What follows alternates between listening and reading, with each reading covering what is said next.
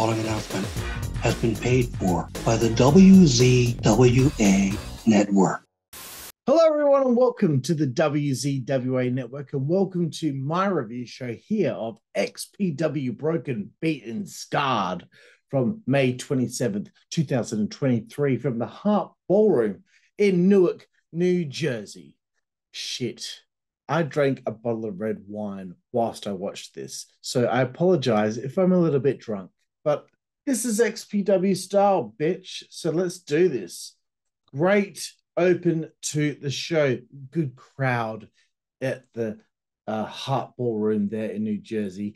Larry Legend enters to a pop as he should.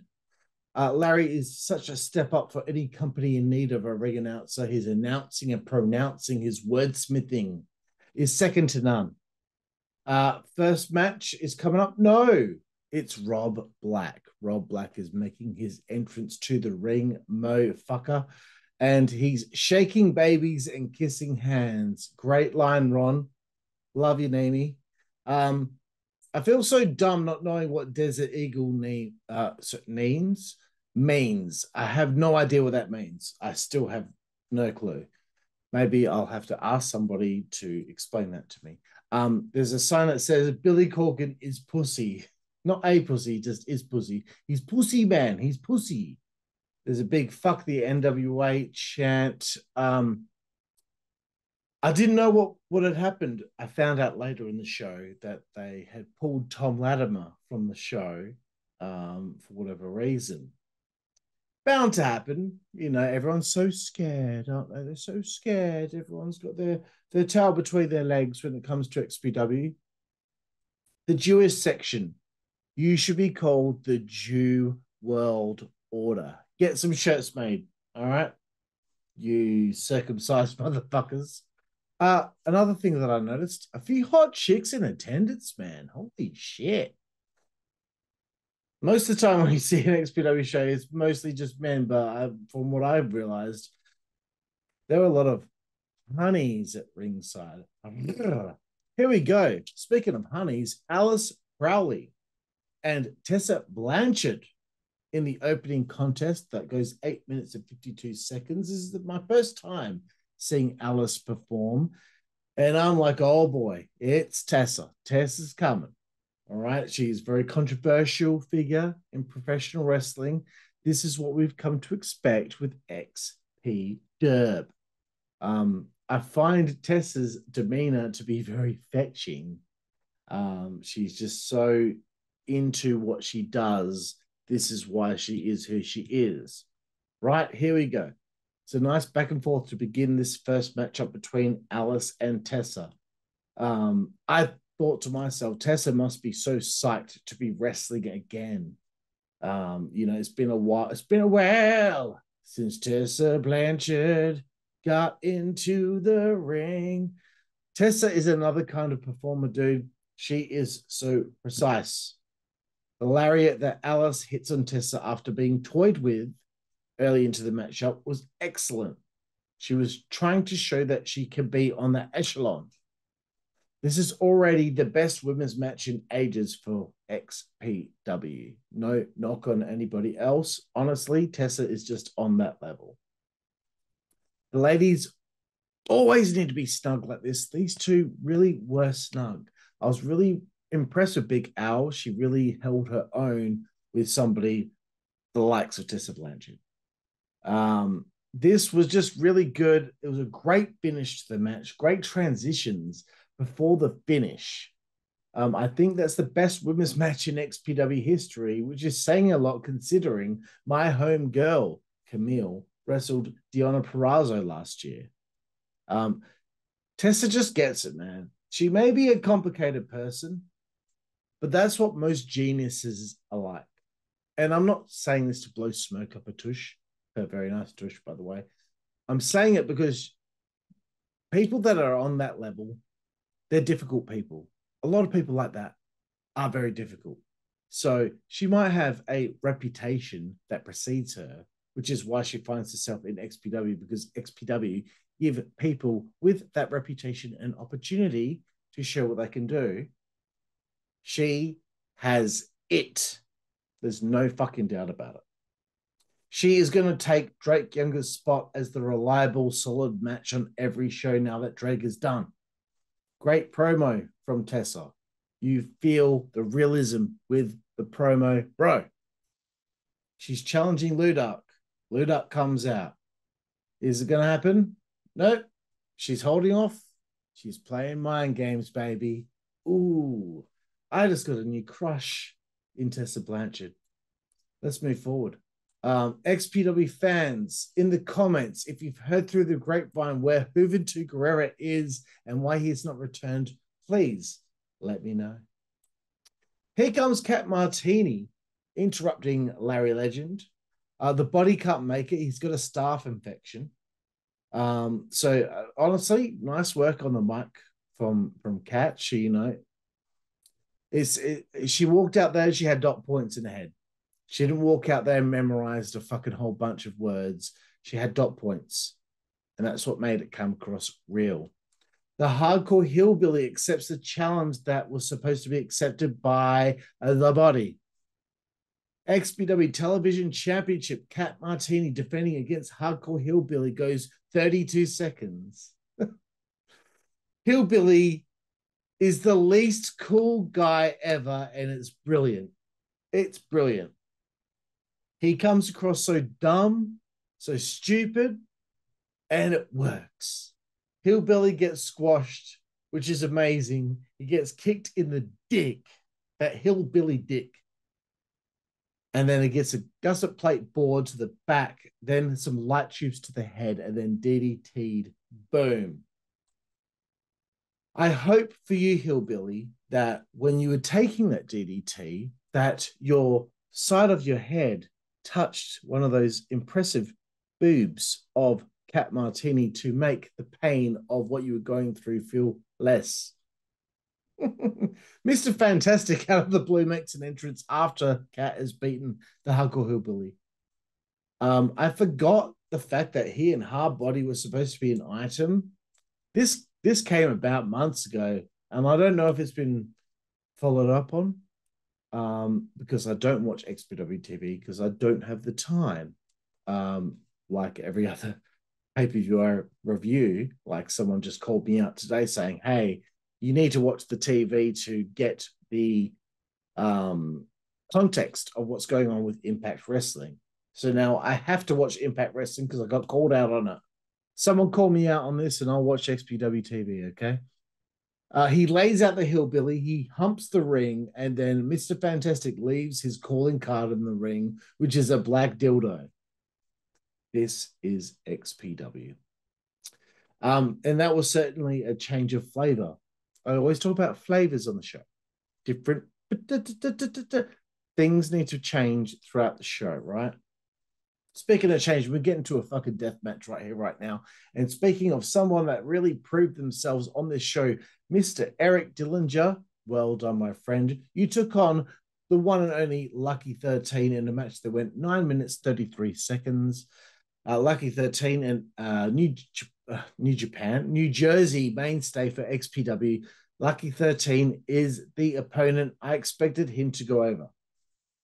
Eric Dillinger got himself over straight away with those dives to the outside.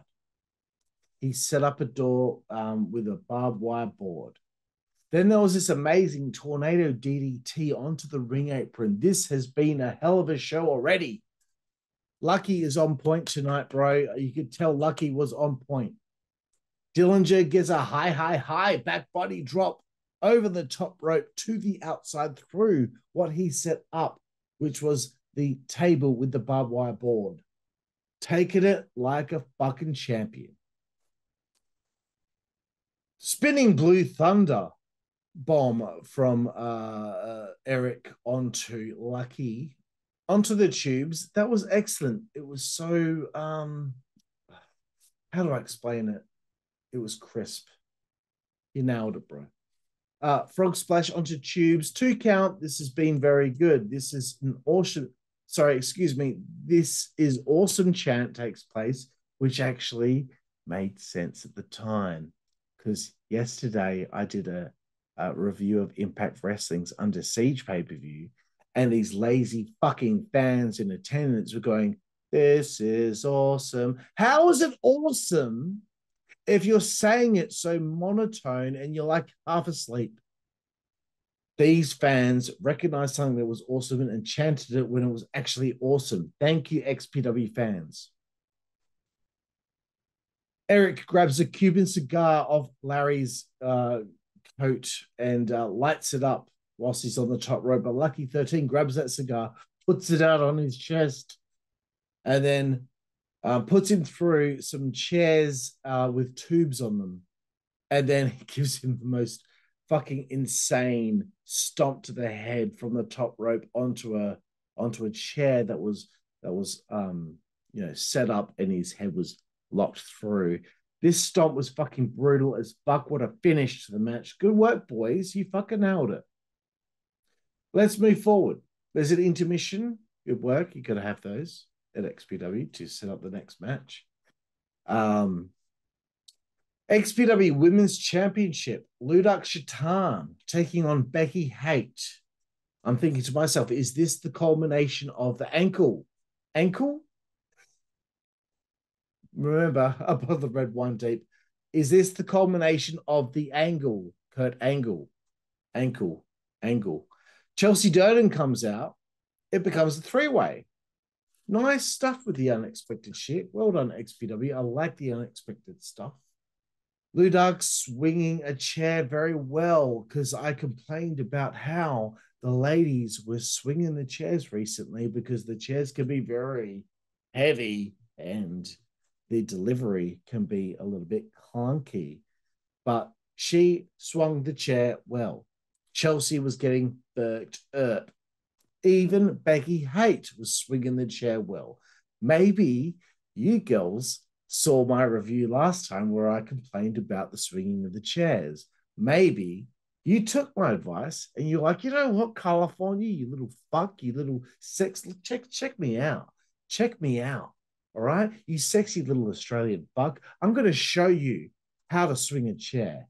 And I hope that that's the case. Masada all of a sudden rocks up. He gets in the ring. He starts threatening the ladies. He saves Chelsea Durden. I thought it was strange, but let's just see where it goes. goes back to one on one here with Becky Hate and Ludark Shaitan. Uh, great suplex from the second rope onto tubes by Ludark. I think this was their best battle so far. They've had a few. Uh, Becky went through a door between the apron and the rail, like a like a Batista spinebuster by Ludark, except less sexy. Because I mean, let's be honest. Every time you see a Batista spinebuster, that's pretty sexy, right? Um, I thought to myself, I wish I was at this show. I mean, I saw the ladies in attendance, and I thought to myself, there's a lot of good looking girls um, in the crowd, but also on the show. uh, props to the ref for counting one, two. He's just he's just counting in glass. Well done, mate. Well done. Uh, there's a sunset flip power bomb off the ropes by Becky Hay, which kind of comes across a little bit clunky. Uh, but these things are bound to happen. Uh, there's a problem with the referee making a count. He wasn't able to make a count because he was being realistic about it. No one's shoulders were down properly.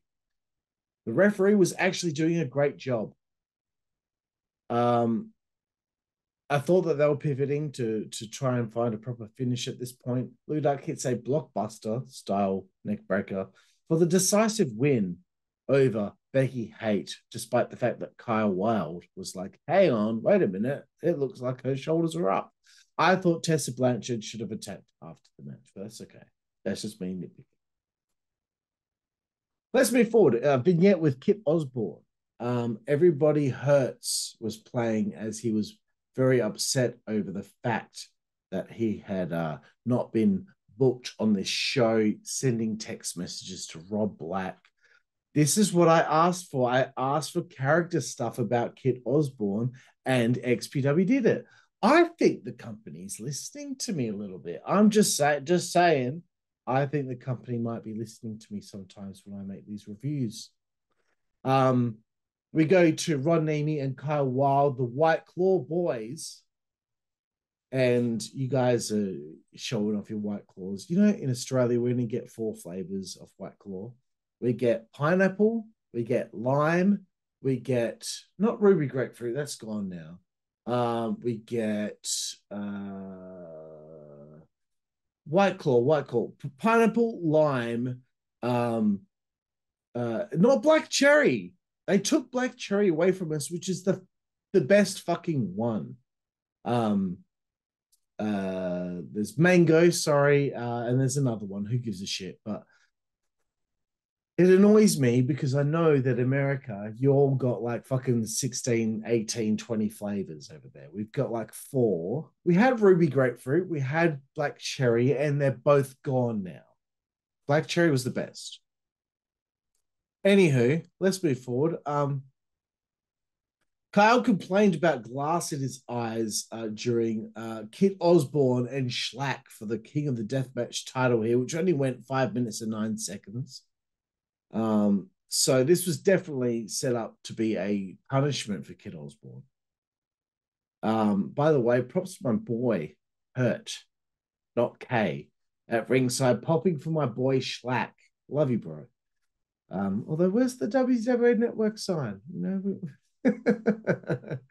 Um, look, I assumed it was a title match. I found out during the match it was a title match. Um, early into the match, Shlak hit this sweet driver onto Kit onto tubes, which was insane. Uh, this was Kit's punishment for being a bitch to Rob. I like the story. Shlak is gonna kill you, Chance. Very welcome. I heard a Jordynne Grace is gonna kill you chant yesterday. Nothing against her. But sometimes I hear a hook is going to kill you chant. I'm sorry. But if Shlak was to face Hook, Taz's son, in a match, then why would you chant fucking Hook is going to kill you when Shlak's fucking in there? That's someone who looks like they're going to fucking kill you, not fucking Hook. Nothing against him, but he looks like a fucking teenager. I think I might be able to fucking take him, to be perfectly honest with you. Take, take fucking one look at me. Sorry, again, a bottle of red wine. um, power powerbombing Kit onto tubes like he's nothing. Brilliant. Um, Kyle Wilde confirming my suspicions of this match. This is punishment for Kit Osborne. The super kick was excellent after Kit's comeback, and Shlak sold it so well. Just into the chin, and then he just fell. He just fell. I like that. Very well done, Shlak. I'm not going to give you any flack, um, because Shlak just lost his shit at one stage. I don't know what that finish was. It was a bit weird, but he hit an elbow drop and he won the match. and then Kit, Kit just got fucked up. Uh, Kit goes after a fan after the match who gets shoved and forced out by some dude at ring. I was like, what is going on here? And and from what I saw on Twitter, it seems like it was real, but my, maybe my homeboy Ron Nemi can uh, uh, elaborate by messenger to me and let me know what the fuck happened there. Uh, Shlak came out, he laid Kit out again, uh, and then he threw tubes at him. And dude, like earlier, I, I said that um Kyle Wilde should have complained about um he complained about glass in his eyes, and I said I would have popped if in 30 seconds' time he says his white claw has been tainted too. But after this happened, Kyle was like complaining that his white claw was messed up now from glass. So that really made me laugh. But that whole thing felt so real, and I think maybe it was. Uh, coming up next, Lou Nixon has a promo in a pub. I like it. I thought to myself, he probably needs the win, considering he hasn't won yet in XPW. But this is uh, this is a situation for a lot of people. Chelsea Durden hasn't had a win yet. Uh, what's the big boy? The big the big boy with the big gut in LA. He's still fucking like five and uh, oh and five. Um, can't remember his name. No, I can't remember his name. Anyway, it's Lou, it's Lou Nixon taking on Necro Butcher, which went 19 minutes 57 seconds. Here comes Necro and the entrance. It's so fucking entertaining. Um, Jasmine St. Clair is with him, and Jasmine, look, you're my friend, but you are so delicious. And I know you like younger men, so um, if I ever come to LA sometime, maybe you might like to have a little rendezvous with Karlifornia. There's no chance it's happening. Uh, MAGA um, gets out there and he hits an elbow drop on a, a picture of Joe Biden's head, which is hilarious. Uh, I don't ask for palate cleansers a lot with XPW, but sometimes bloodlust prevails. Bloodlust prevailed today. And it probably had help with uh, red wine that made the run in. Um, no, Dan, no Danny, no Danny Ramirez here today. Uh, it's good to have the butcher back though. Uh, Lou was trumping butcher with the train wrestling earlier. Train train wrestling. Jesus Christ. Lou was trumping butcher with the chain wrestling. No pun intended. Maybe Drake Younger could come back to just be a mouthpiece for the Mega Mega. Maybe. But that's okay if he can't, if he doesn't want to. If he doesn't want to be around it, you know, to to feel bad that he's had a broke back and um can't wrestle anymore, then that's okay. But I think Drake can still be used in some way because he's so good on the microphone, he's so well spoken. And then maybe, who knows, in a year or so's time, maybe he might feel like he's able to get out there and have one more fucking match so he can end it on the right note. But no pressure from this fan right here. Drake, hey, I saw your um, retirement speech and all my love to you, my friend. You are a fucking gentleman. I don't care what anyone has to say. Drake Younger is the fucking man. Uh, there was a lot of a lot of time spent at ringside for this match. Uh, I really fucking love the light tube nunchucks. I'd never seen that before. That was really cool. Um, there was a ref bump. Uh, Lou locked in a sleeper hold, and um, uh, Maga Butcher tapped out. Um, but thanks to Jasmine and her help, uh, Maga Butcher ended up getting the victory, which is probably what should have happened. Even though I thought to myself, yeah, Lou Nixon needs to win. He needs to fucking win. Anyway, let's get to our main event of the evening XPW Heavyweight Championship on the line my home boy, my boy, Masada, defending against the one and only Alex Colon. Masada, bro, you know me. I know you. We talk every week. You have a sick theme song, bro. It just sets the table. It's like Shlak. When Shlak when Shlak's theme song hits, it sets the table. And I understand that my uh, review has been very quick fire right here, right now, but it is 1.05 a.m. in the morning. So what of it? Um, it's about to go down. I love that, Larry. I love that. Um, and by the way, Alex Colon, do my podcast, bro. Come on. You can spare an hour, 45 minutes. Let's do it, bro. Uh, and on that note, I'll have Kyle Wilde, Hardcore Hillbilly, Big F and Joe, Lou Nixon, Lucky 13, Tessa Blanchard plays, uh, Ludark Shaitan, Sage Sin Supreme, a- Supreme, Supreme, aka Becky Hate. Come on, gang, join me. I want all of y'all. And you know what, Rob Black? Join me too. Join me too. I've asked you like 10 times. Maybe 11th time is the charm. Uh, nobody delivers a slap like Masada. I challenge Masada and Stephanie McMahon to have a slap fight. Because she's known for her slaps, but Masada's are heard through the fucking city. Um, there was a, a comment by the commentators about they were possibly going to be stripping Masada of the title. Don't strip people of the title, please, ever. It would be bullshit. Um, I did like the psychology of Alex targeting the burnt areas of Masada's body of, uh, after what happened at the last show. Um, I uh, found out during this match that the problem with the NWA was that Billy had pulled Tom Latimer from the show. I don't know what the issue is, but are they getting too controversial? You can't handle them? Come on, XPW aren't that bad.